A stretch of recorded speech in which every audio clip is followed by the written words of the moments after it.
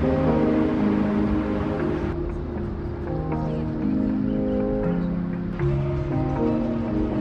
나 이런 영상 처음인 것 같아.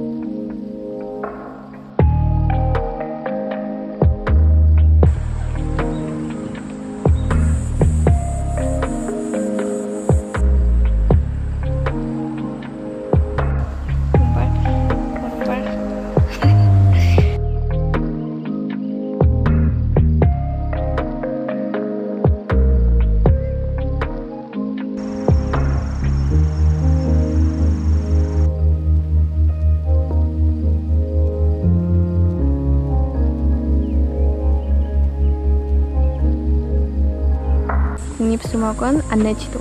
우리는 쭉 이렇게 한 바퀴 돌까요?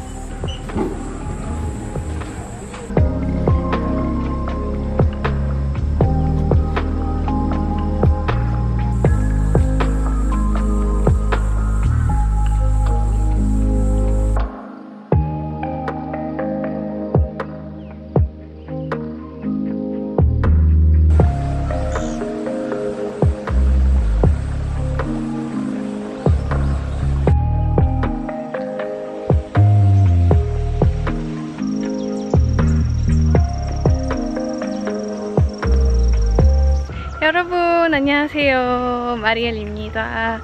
여기는 남양주입니다. 남양주 국립수목원이에요. 제가 남양주에 한 번도 와본 적이 없어요. 네 오늘은 처음이에요. 서울에서 멀지 않잖아요. 여기 국립수목원이 되게 역사가 깊은 곳이더라고요. 뭐 좀 검색을 해봤는데 어, 이제 여기 수목원이 생긴 지 그렇게 오래 안 됐죠. 한 1999년부터 여기가 수목원으로 지정된 곳인데 이 수목원에 있는 숲은 그 광릉숲이라고 해요.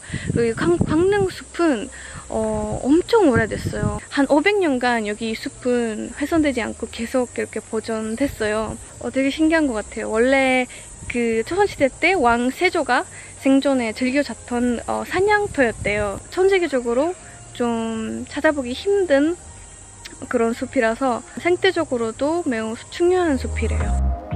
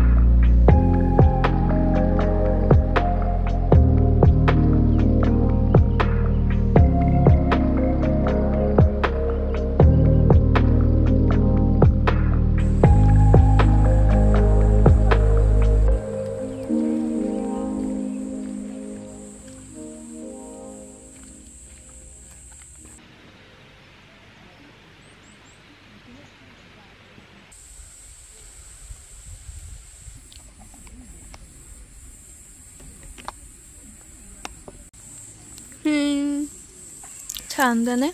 이건 제가 깐 거 아닙니다. 제가 깐 거는 이렇게 됐어요.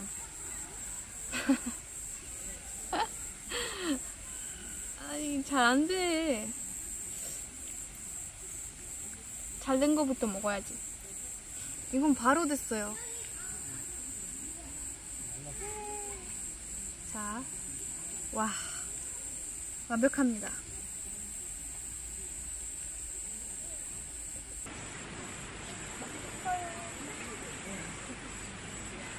맛있어. 이제 다음으로 어, 광릉으로 갈 거예요. 광릉은 그 조선시대 에, 왕의 능이죠. 어, 무덤. 광릉 숲길. hello. 어, 안녕하세요. 어 유튜버다 유튜버. 어, 어, 혹시 저 아시, 아시나요?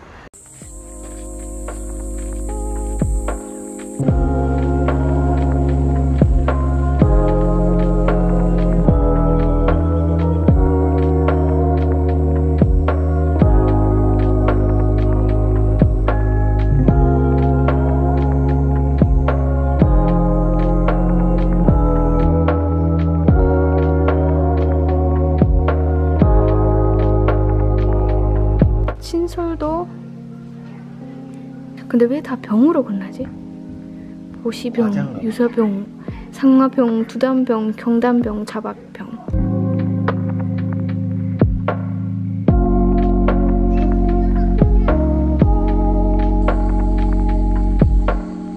네 여러분 우리의 마지막 코스는 봉송사입니다 바로 여기 근처죠 그 수목원 바로 근처인데, 와, 여기도 꽤 넓은데? 이게 뭐야? 이 불상. 잠깐만, 이게 미래의 부처님이라고? 응 56년 뒤 표정이 엄청 상냥해.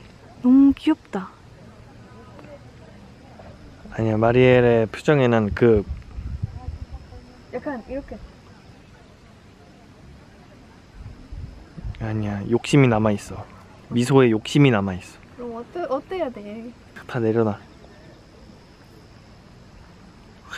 응, 확 내려놔. 욕심이 스물스물 올라오고 있어